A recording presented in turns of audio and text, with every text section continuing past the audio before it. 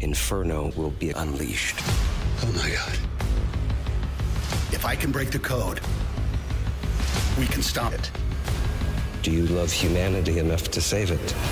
Inferno, em exibição nos cinemas.